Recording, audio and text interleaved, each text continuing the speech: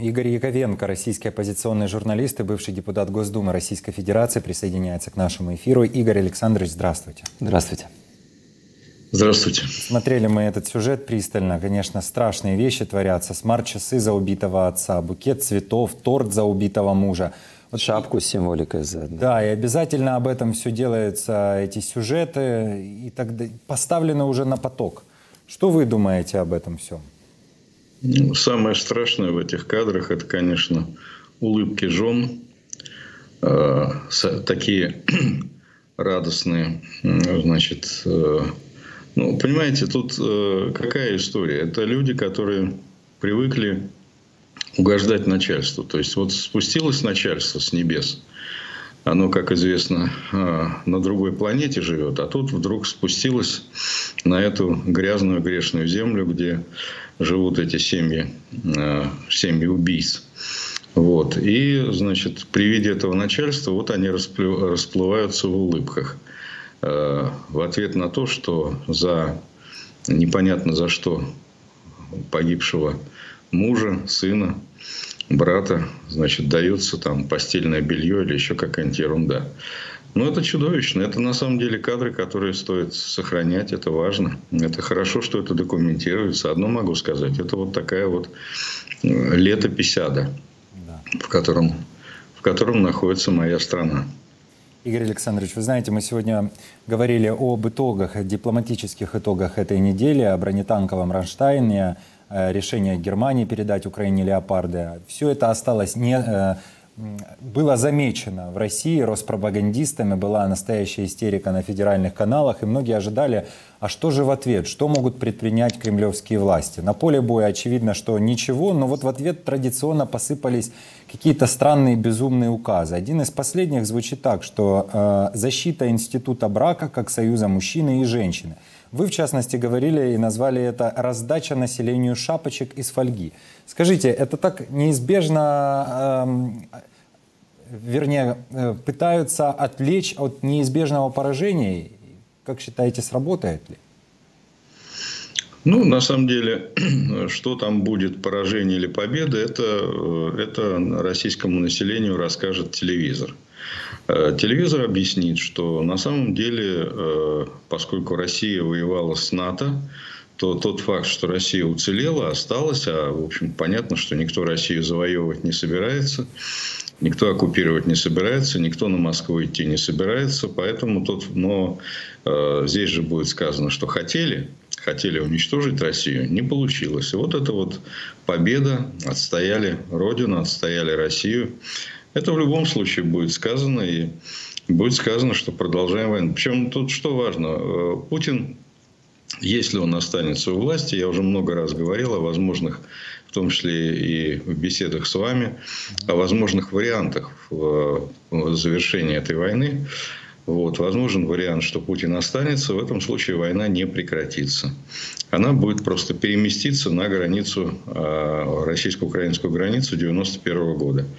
Вот. Но что касается ну и другой вариант – это сползание в смуту, это, в общем, уже, уже превращение войны империалистической в войну мафиозную. Это уже будет внутри России. Украину это уже не будет касаться. Но если э, отвечать прямо на ваш вопрос, то да, безусловно, э, пропаганда будет, будет работать, и она объяснит. Какая-то часть, сужающаяся часть, э, пропаганда меньше действует, меньше людей на нее клюют, но по-прежнему действует, по-прежнему значительная часть людей чувствует себя комфортно, Э, не давая себе труда сомневаться в том, что говорит государственный телевизор. Вот понимаете, эта женщина, вот вы показывали, я все-таки отталкиваюсь от этих потрясающих кадров, которые вы показали. Вот эти женщины, которые с улыбкой реагируют на э, визит людоедов, которые послали их, э, их мужей на фронт, непонятно за что, убивать и умирать. Вот они улыбаются. Почему? Потому что э, если войти в конфликт с властью, то это обречь себя на очень некомфортное существование. Это выход из зоны очень своеобразного такого комфорта. Ну, какой там комфорт, да? Мы видели, в каких условиях эти люди живут.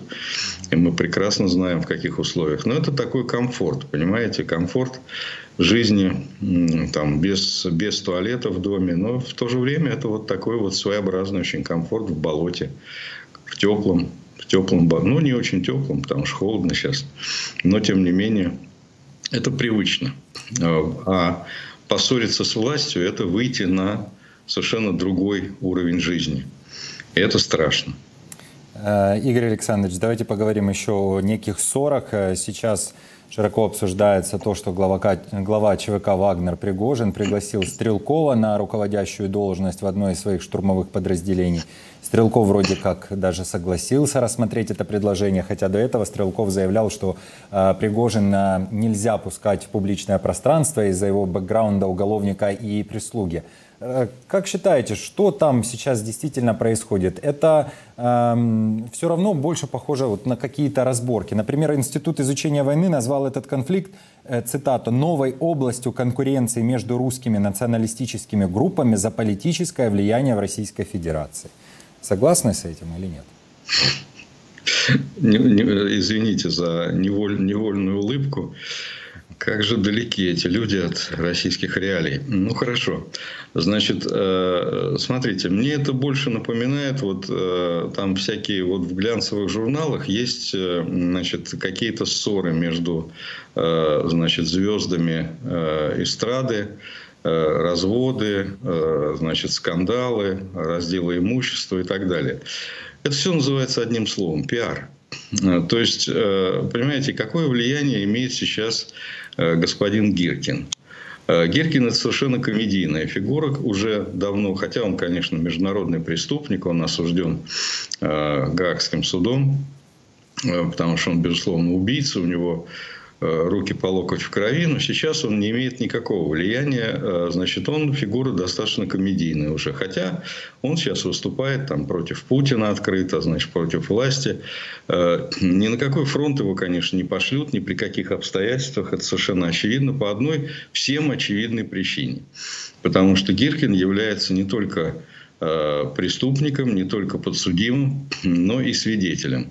И я не помню, сколько там 100 э, тысяч, за него... 100 тысяч долларов, 100 да, и Нидерланды готовы еще заплатить да, за передачу. 100 тысяч, да, то есть, ну, в общем, понимаете, то есть, как только он попадает на фронт, то его тут же аккуратно упаковывают и сдают э, значит, украинской стороне. Тут же, мгновенно. Потому что ну, хорошая прибавка, согласитесь.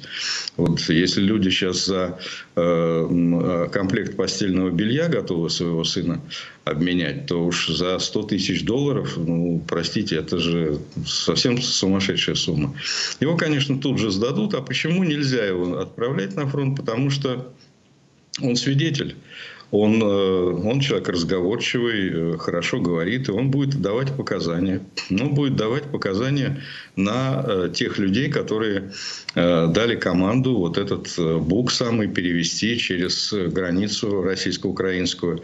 А команду эту, эта ниточка поведет в Кремль непосредственно к Владимиру Владимировичу Путину, потому что все эти четверо подсудимых, которые были под судом, и трое из них были осуждены, это, конечно, не те люди, которые э, организовывали это убийство значит, уничтожение, вот это, всю эту трагедию с Молодийским Боингом, да, они причастны к этому, но не они, не они главные организаторы.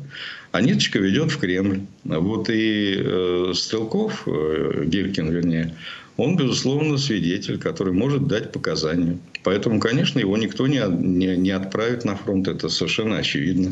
Вот. Ну а что касается вот этой вот э, демонстративной склоки э, Стрелков, вернее, Гиркин, Пригожин, то это пиар. Пригожин великолепный мастер пиара. Он обладает э, самой эффективной медиакомпанией в России. Вот вся эта фабрика троллей, так сказать, все, все, все медийное хозяйство Пригожина, это наиболее эффективная, э, э, так сказать, структура в России. Количество упоминаний в российской прессе, оно просто зашкаливает. Поэтому я думаю, что я думаю, что здесь Здесь э, можно говорить о том, что на самом деле Э, так сказать, Пригожин просто пользуется случаем, потому что Гиркин известная фигура. Да, он комедийный, но очень известная фигура. И скандал Гиркин-Пригожин – это очень, э, очень выгодно. Игорь очень... Александрович, а для чего сейчас Пригожин? Он боится, что его фигура исчезнет и померкнет? Нет, этого... Нет, ну до этого очень далеко, но, понимаете, здесь же э, он э, сейчас наращивает свой капитал, наращивает свой политический капитал. Вот он-то как раз действительно обладает серьезным капиталом влияния, помимо финансовым капиталом. Ну, понимаете, человек, который получил э, в свое полное распоряжение значит, Центральную Африканскую Республику со всеми ее алмазами, это человек не бедный, мягко говоря, человек, который имеет возможность ну вот э, наверняка в ваших эфирах фигурировали вот эти вот события, которые связаны с фантастическим, совершенно э, чудесным освобождением уголовников, э, в центре которых стоит Пригожин. По его, по его указанию Путин подписывает секретные тайные приказы. То есть фантастическим влиянием парень пользуется, уголовник со стажем. Вот, поэтому э, ему, конечно, вот такое влияние, известность, публичность, он на самом деле, он смотрит сквозь Путина, уже за, за плечо Путина, за э, период, так сказать, когда Путина не будет. Он готовится к серьезному разделу России после Путина. Игорь Александрович, вы упомянули вот Центральноафриканскую республику. Э, накануне Управление по контролю за иностранными активами Минфина США объявило наконец-то частную военную компанию Вагнера транснациональной преступной организацией. Как вы вообще в целом оцениваете это решение? Что оно может изменить и как может повлиять на всю деятельность Пригожина? Э, ну, э, строго говоря, э, вот само по себе это решение особенно никак не может повлиять.